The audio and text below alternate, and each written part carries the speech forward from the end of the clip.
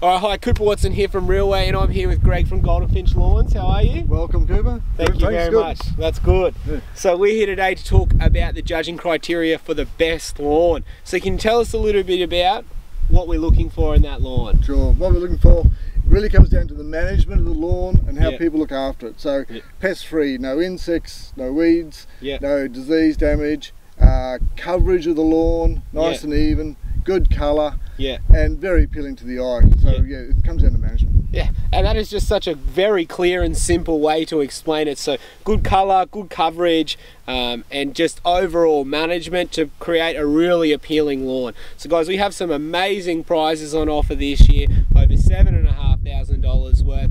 And we really look forward to seeing your entries and can't wait to judge Toowoomba's best lawn for the second year in a row. Thanks again, Greg. Good. Thank you. Thank Glad to be on you. board. Cheers. Yeah.